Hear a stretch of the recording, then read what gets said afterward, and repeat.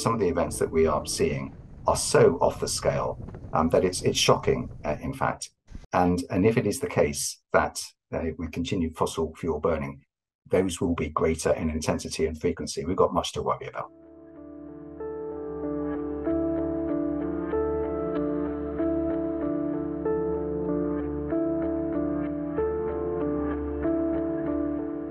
But if that white reflective snow and ice surface is lost, then it's replaced by a dark surface, whether it be in the ocean or on the land.